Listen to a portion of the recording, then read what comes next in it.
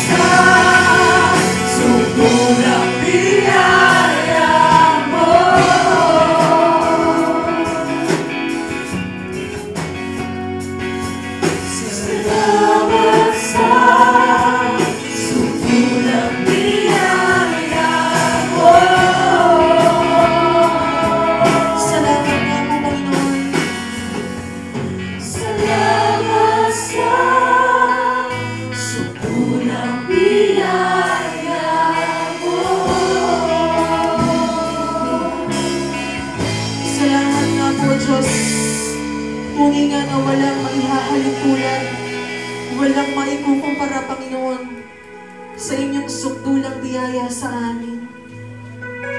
Panginoon, nararapat kaming mamatay ng dahil sa aming mga kasalanan, subalit ng dahil sa inyong pag-ibig, sa inyong biyaya, Panginoon, kayo ang namatay, O Diyos, para sa amin para kami ay magkaroon ng kaligtasan, para kami ay magkaroon ng buhay na walang hanggan.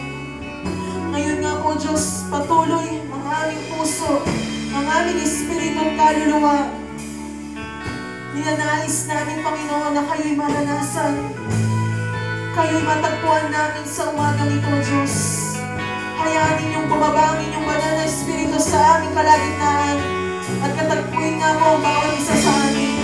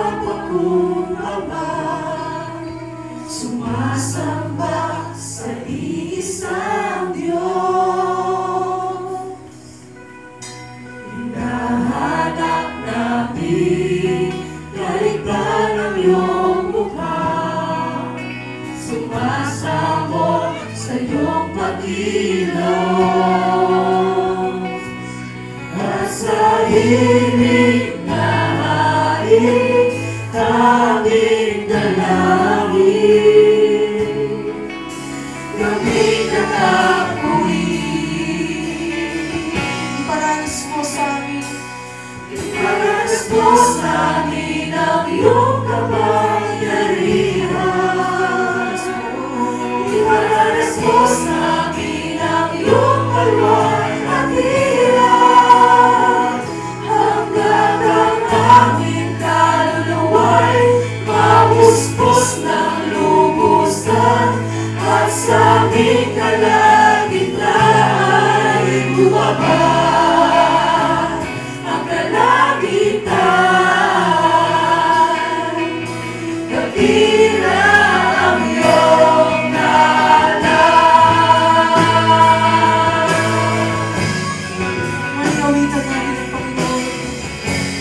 Mga Diyos, narito kami sa inyong harapan.